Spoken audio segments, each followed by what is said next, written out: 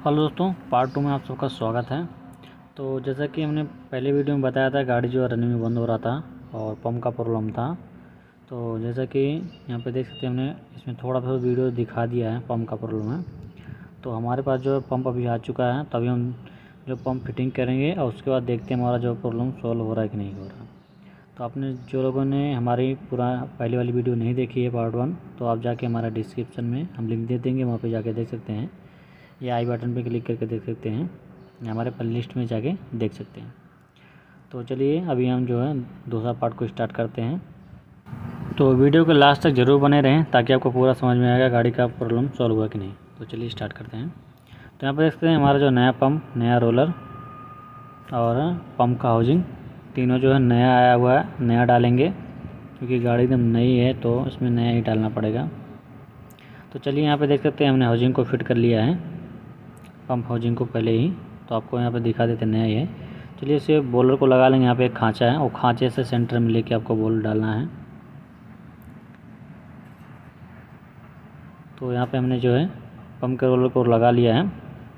अभी हम पंप को प्लेंजर को लगाएँगे। यहाँ पे देख सकते हैं पंप का है, और यहाँ पे स्प्रिंग लगी हुई पंप में।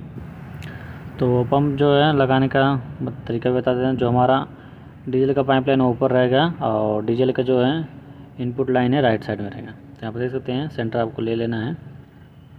तो चलिए इसको भी हम बिठा लेते हैं, इसको टाइट कर लेते हैं।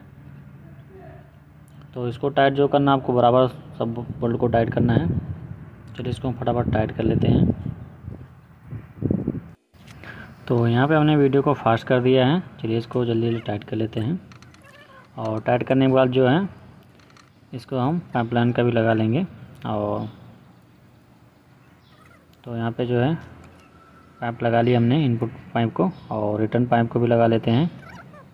और यहाँ पे जो है कमरेल का भी पाइप लगा लेते हैं। तो भी हम टैबलेट कवर को भी लगा लेते हैं। उसके बाद जो है टैबलेट कवर लगाने के बाद जो है एयर निकाल के गाड़ी को स्टार्ट करेंगे। चलिए इसको फटाफट जो हम टाइट कर लेते हैं। तो चलिए अभी नोजल का पाइप ने चाबी जब चालू किया तो थोड़ा डीजल आ रहा तो अभी हम देखेंगे डीजल आ रहा है कि नहीं सेल्फ मारने के बाद। और चेक करते हैं पम्प से डीजल आ रहा है कि नहीं। फिर पंप से भी चेक करेंगे क्योंकि नया पम्प लगा है और चेक करना ज़रूरी है। तो चलिए सेल्फ मारते हैं। तो चलिए अभी हम सेल्फ मार के जो इसको एक बार एयर निकाल लेते हैं। और देखते हैं डीजल आ रहा है कि नहीं आ रहा वो भी चेक लेते हैं पम्प से।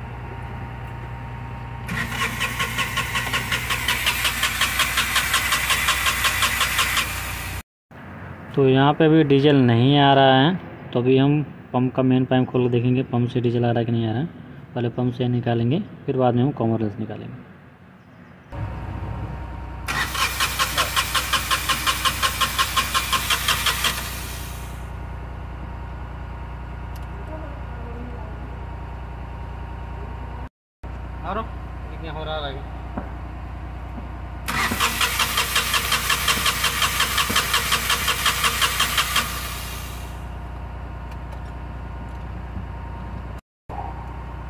भी तो अभी मारते हैं सेल्फ और देखते हैं भी डीजल आ रहा है नहीं आ रहा। पंप से तो आ रहा है डीजल। तो अभी चलिए कॉमरेल से यहाँ पे डीजल अभी आना चालू हो चुका है. अभी एयर निकाल लेते हैं इसका।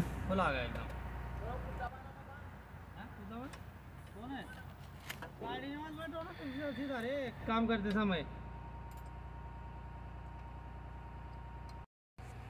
तो अभी चलिए सेल्फ मारते हैं और देखते हैं गाड़ी चालू हो रहा कि नहीं। और उसके बाद बाकी का भी हम काम कर चेक करेंगे। ब्रेक स्विच का भी आया था, उसका भी चेक करेंगे। तो यहाँ पे गाड़ी चालू हो चुका है। तो चलिए अभी बाकी ब्रेक का भी आया था, हम ब्रेक स्विच भी चेंज करेंगे चेक करके।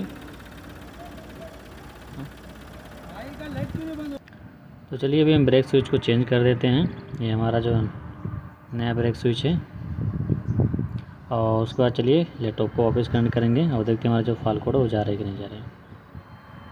तो हम लैपटॉप पे ऑफ़िस आ चुके हैं तो चलिए अभी लैपटॉप को कनेक्ट करेंगे और ई को कनेक्ट कर लेते हैं। तो यहाँ पे हमारा कनेक्ट हो चुका है।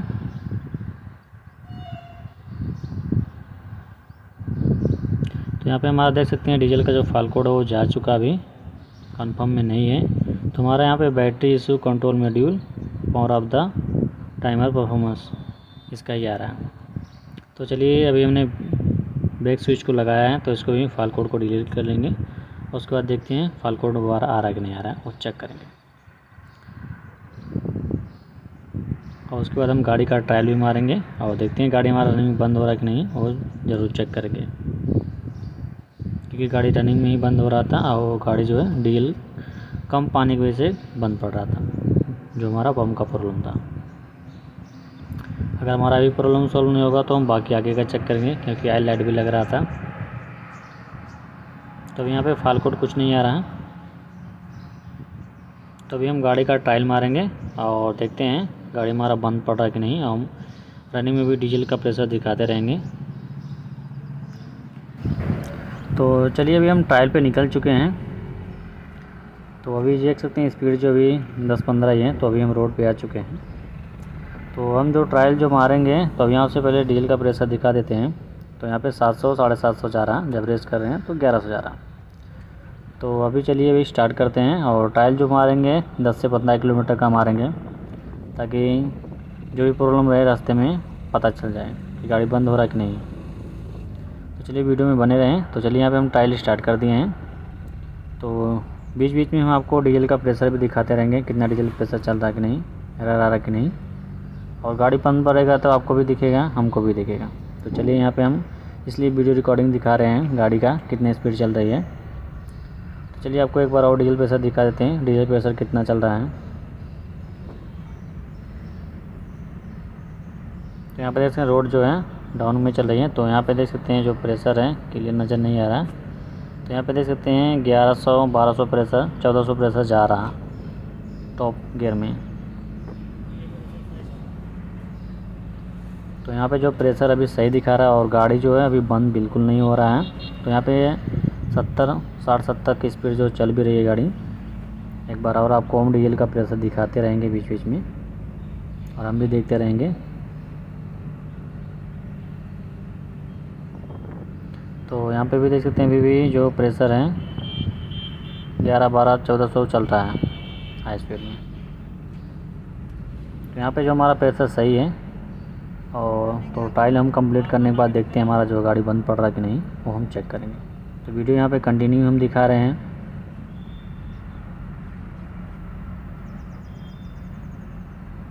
तो चलिए फटाफट हम ट्रायल मारते रहेंगे। तो फ्रेंड्स अगर वीडियो अच्छी लगी हो तो वीडियो को लाइक ज़रूर कर दें और अपने दोस्तों को शेयर करना ना भूलें, ताकि ऐसे इंटरेस्टिंग वीडियो उनको भी देखने को मिले और कुछ लोग बोलते हैं कि आप सर छोटी गाड़ी का ही वीडियो बनाएँ तो अभी फ़िलहाल में हमारे पास जो छोटी गाड़ी का प्रॉब्लम कुछ ज़्यादा ही आ रहा है। कस्टमर बहुत परेशान है phase two B S six में प्रॉब्लम ज़्यादा आ रही है गाड़ियों में। तो जिसकी वजह से जो है, हम बड़ी गाड़ी का भी नहीं बना पा रहे हैं तो छोटी गाड़ी का ही जो है प्रॉब्लम अभी सॉल्व करना है, इसलिए हम छोटी गाड़ी का ही वीडियो बना रहे हैं। तो अभी छोटी गाड़ी का इसलिए हम काम कर रहे हैं तो क्योंकि प्रॉब्लम ज़्यादा आ रहे हैं।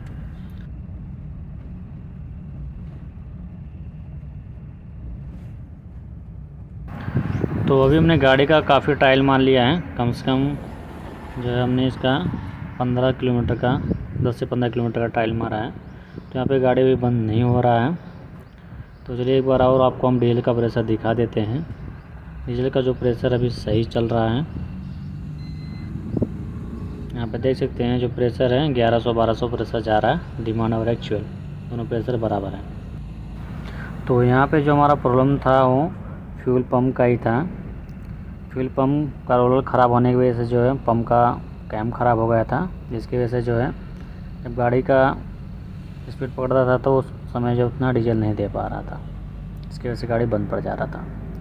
तो अभी भी यहाँ पे देख सकते हैं प्रेशर जो है 1100-1200 जा रहा पूरा इसलेटर दबाने के बाद, जो कि इतना प्रेशर नहीं दे पा रहा था, जिसकी वजह से गाड़ी जो है बंद पड़ जा रहा था। तो यहाँ पे जो अभी प्रेशर सही चल रहा है तो हमने काफ़ी ट्रायल भी मारा 10 से 12 किलोमीटर। तो गाड़ी अभी ओके हो चुकी है तो अभी हम कस्टमर को गाड़ी उसका हैंड ओवर कर देंगे। दोस्तों, अगर हमारे चैनल पर नए हो तो हमारे चैनल को सब्सक्राइब करके बेल आइकन घंटी को दबा दें, ताकि आपको नए नए वीडियो देखने को मिले। तो तब तक के लिए धन्यवाद दोस्तों, मिलते हैं अगले नेक्स्ट वीडियो में।